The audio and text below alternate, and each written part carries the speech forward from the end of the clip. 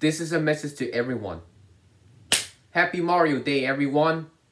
Because today is March 10th, 2021. Everyone's making a Mario Day videos. So anyways, happy Mario Day, everyone.